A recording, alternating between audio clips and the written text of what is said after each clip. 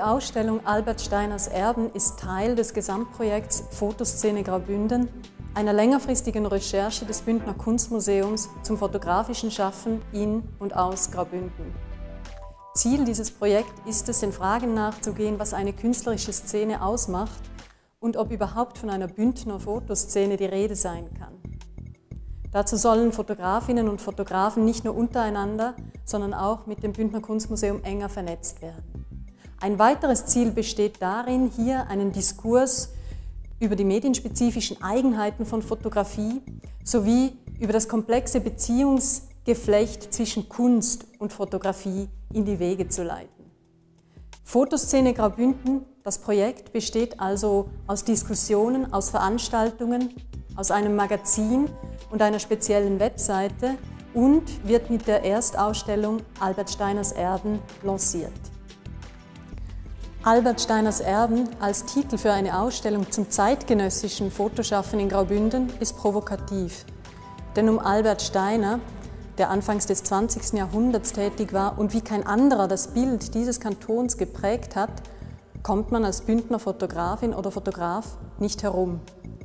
Steiners Landschaftsaufnahmen haben sich in den Köpfen festgesetzt, da sie auf zahllosen Postkarten, in Publikationen und Zeitschriften zirkulierten und viele Nachahmer fanden.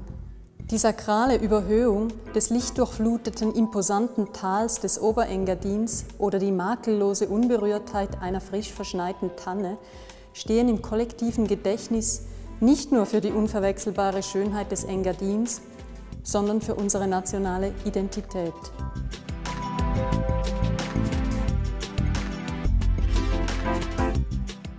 Die zeitgenössischen Bündner Fotografinnen und Fotografen müssen Wege finden, mit dem fotografischen Erbe von damals umzugehen.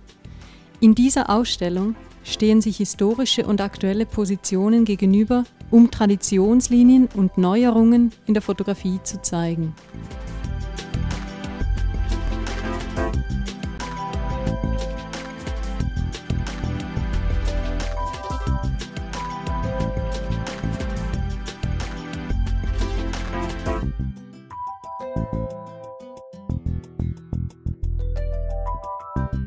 Die Auseinandersetzung mit der Landschaft, mit Motiven wie Berg, Schnee, Gletscher, Wald oder Baum, bleibt für viele Bündner Fotografinnen und Fotografen ein wichtiges Thema, wird aber auf zeitgenössische Weise behandelt und umgesetzt.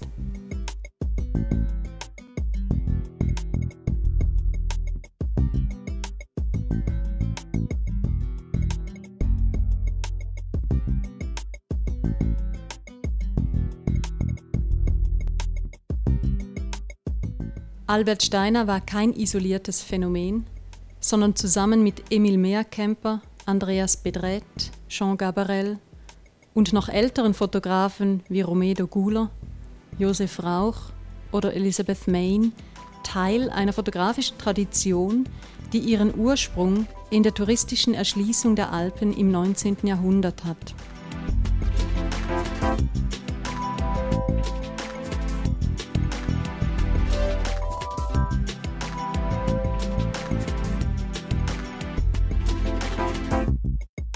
Graubünden profitiert bis heute vom Tourismus. Die Anziehungskraft der Berge ist ungebrochen.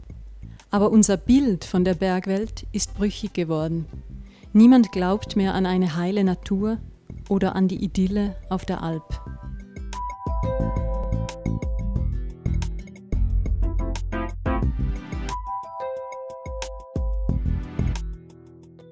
In Davos versammeln sich regelmäßig die führenden Köpfe der Weltwirtschaft und verwandeln den Skiort in einen Hochsicherheitstrakt. Jules Spinachs Davoser Panorama besteht aus über 2000 Einzelbildern, die automatisch von Netzwerkkameras aufgenommen wurden. Damit wird die klassische Dokumentarfotografie und das mediale Bild an sich hinterfragt. Auch Goran Galic und Janre Dugredig untersuchen das Medienbild, indem sie die Kriegsfotografen befragen, wie ihre Fotografien entstehen und was sie bewirken, was sie zeigen können mit einer Fotografie und was eben nicht. Die heutigen Fotografen aus Graubünden setzen sich mit den Fragen unserer Zeit auseinander und vertreten eine zeitgemäße Auffassung von Fotografie.